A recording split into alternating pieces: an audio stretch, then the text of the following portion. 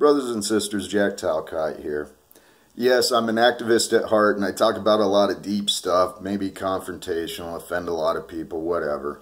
Hey, um, but everything is about improving and value. So today I want to provide a little bit of value to you, some things that I was thinking about in the shower. if you love you, you will do to you what you love. If you love others, you will do to them what they love.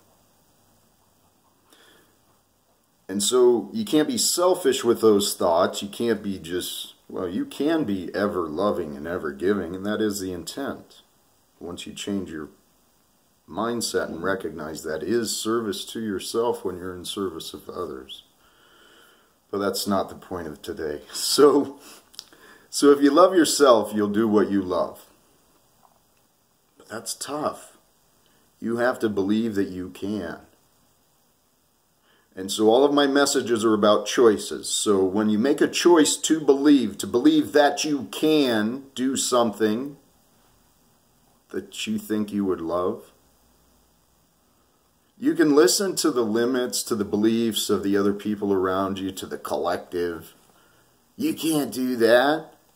Others haven't been able to. No one's done that. That's too hard. It would take whatever. You can believe that crap, or you can believe in yourself. And you can have faith. Once you make a choice that you would love this, whatever it is, you can have faith in yourself. You can have faith in our Creator and hopefully you can have faith in the support of those around you, of the naysayers. But you got to have the courage and you got to have the strength and you got to have the determination and you got to be have the wisdom to recognize what you can change, what you can't. You can't change those outside of you. So as much as you love them and as much as you might pray for their support, Sometimes it's family that holds you back because they don't want to see you get hurt by your failures. So go deep. Figure out what you want.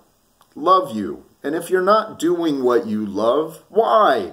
Ask yourself that, please. You'll feel happier. God bless you. Namaste, everybody.